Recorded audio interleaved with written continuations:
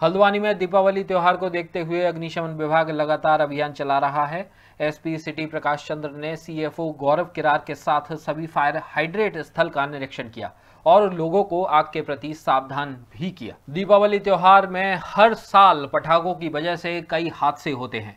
इस साल हल्द्वानी में दीपावली त्योहार को देखते हुए अग्निशमन विभाग लगातार अभियान चला रहा है, जिसको देखते हुए एसपी सिटी प्रकाश चंद्र ने सीएफओ गौरव किरार के साथ सभी फायर हाइड्रेट स्थल का निरीक्षण किया और उन्हें चलवाकर भी देखा। इसके साथ ही अग्निशमन विभाग लगातार पटाखों की दुकानों और गोदामों का निरीक्षण कर रहा है। इस संबंध में जानकारी देते हुए सीएफओ गौरव किरार ने बताया कि दीपावली को देखते हुए टेंट हाउस, होटलों अस्पतालों और स्कूल में प्रशिक्षण देने के साथ ही उनका फायर ऑडिट किया जा रहा है।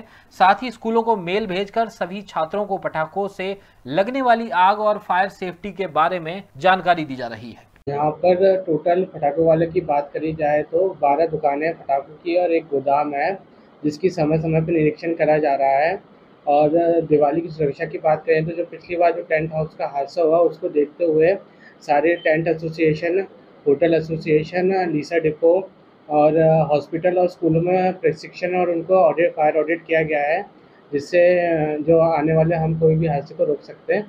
और इस बार स्कूलों को भी हमने मेल के थ्रू बोला गया है कि असेंबली में सब बच्चों को बताया जाए फायर के संबंध में और पटाखों का सेफ्टी के बारे में।